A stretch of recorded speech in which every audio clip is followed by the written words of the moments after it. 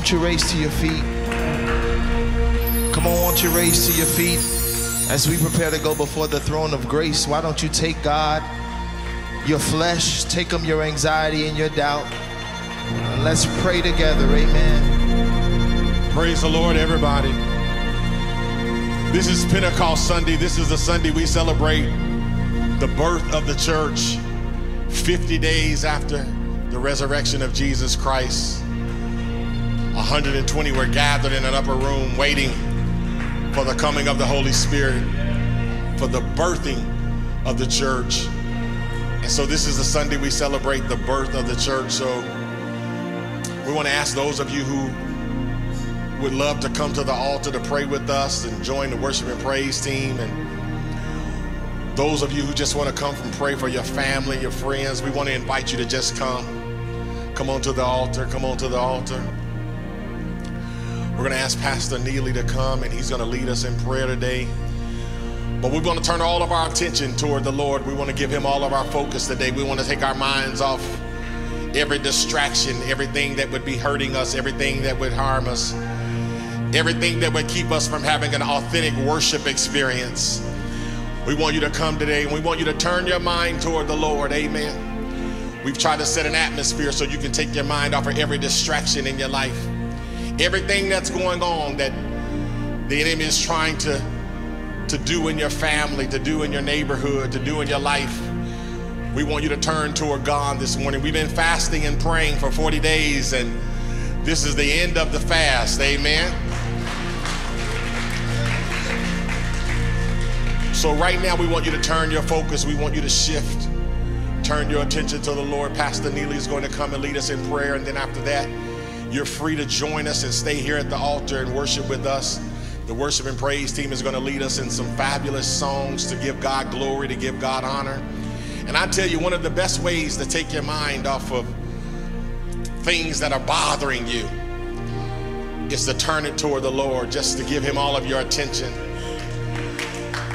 Just say, matter of fact, sometimes you just need to tell the Lord, Lord, yes, I'm going through some stuff, but I'm turning it all over to you. I'm somebody's looking for a miracle today. Somebody's looking for God to heal a situation. Somebody's looking for God to do something awesome, wonderful, and great. And I'm a living witness that He is able.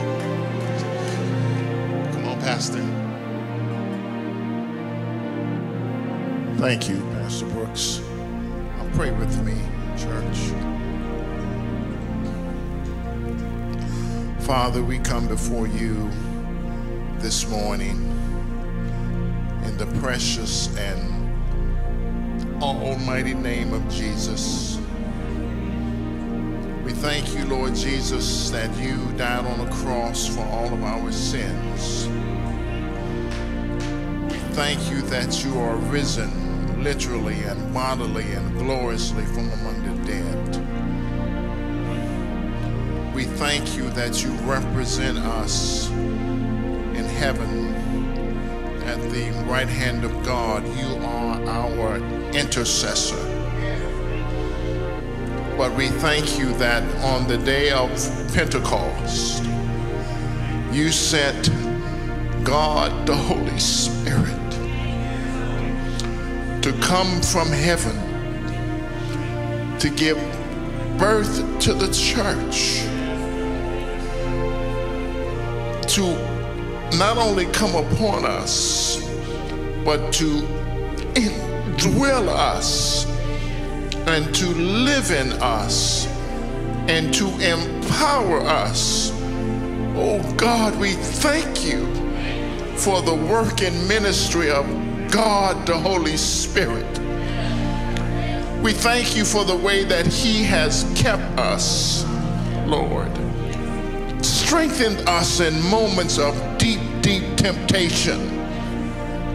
When we were walking, Lord, near the abyss, He we yielded to Him and He enabled us and empowered us and strengthened us to be able to walk with you. We claim nothing here today in our own strength. We thank you for your work and your ministry. But we are in need of a touch, Lord, from you. We ask that you would do it again. Would you bring revival and renewal again? Would you fill us with fresh power, Holy Spirit? So we uh, we love you, Lord. We we we thank you and bless your name. And we pray, Lord Jesus, that you would do something fresh and new in this day and age because we are in desperate need of you. So we thank you and glorify you and honor you today in the precious and almighty name of Jesus, the name that is above every name. Thank you, Lord. Amen.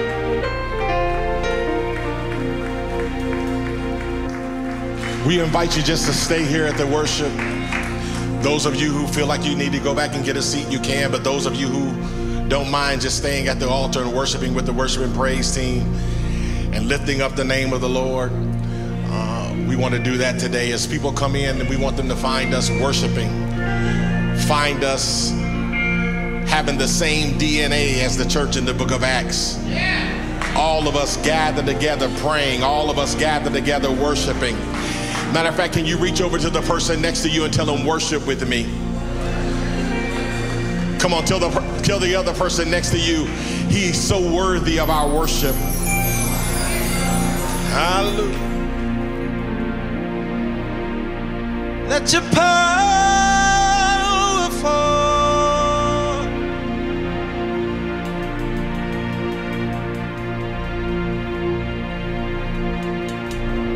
When your name is called,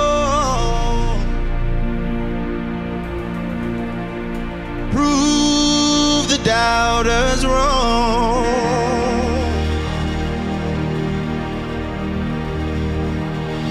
Still mighty and strong. Fight this battle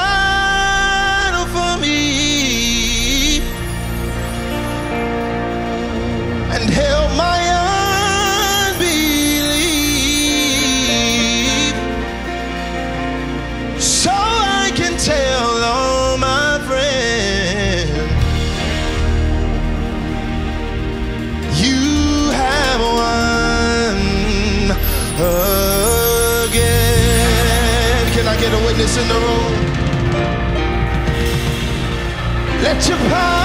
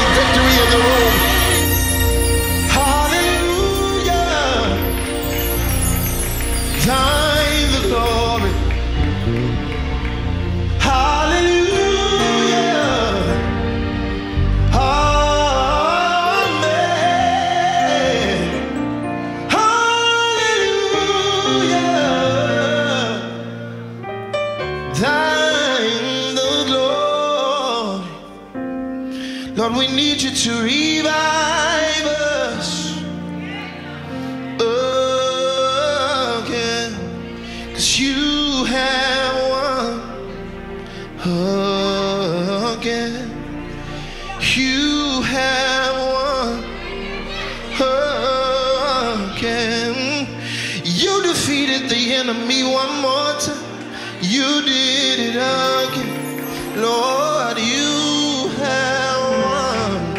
Somebody say. Come on, clap those hands in the room.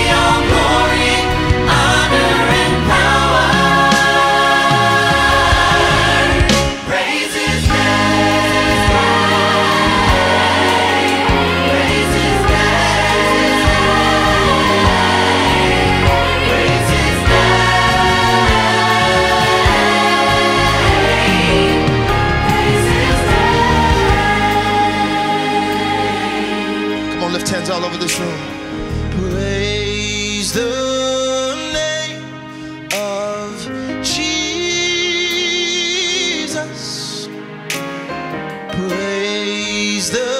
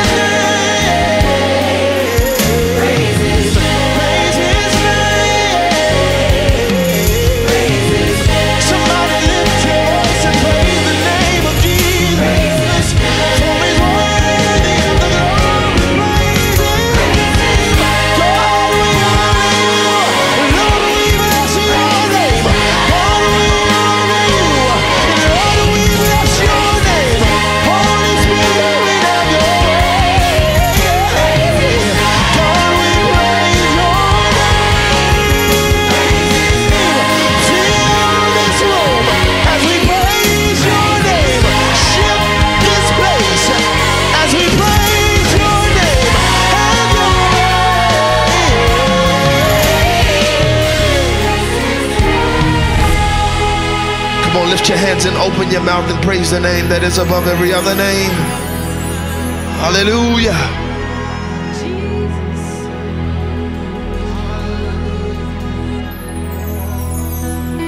Oh, hail the power of Jesus' name. Let angels prostrate fall. Bring forth the royal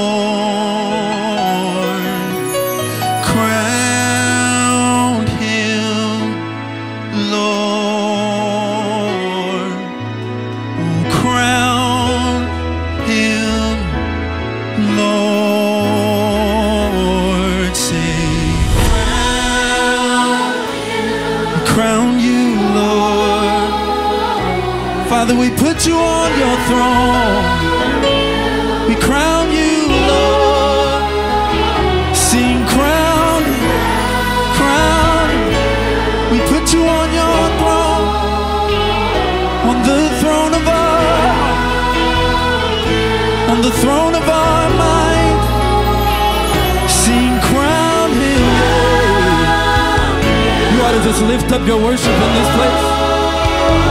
Because you've been there